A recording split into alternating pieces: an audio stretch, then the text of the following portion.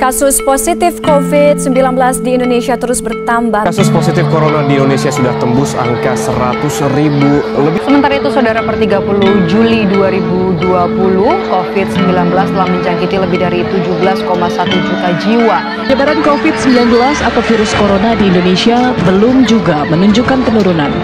Virus corona saat ini tengah menjadi perhatian dunia. Lebih dari 147 ribu orang terjangkit di sekitar 149 negara, tak terkecuali Indonesia. Tapi sebisa mungkin berkegiatan secara lebih terbatas.